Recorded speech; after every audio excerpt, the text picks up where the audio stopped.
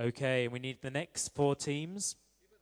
Team Fusion, 0.9, Impulse, and Team Eclipse from Bahrain. Team Fusion, 0.9, Impulse, Team Eclipse from Bahrain.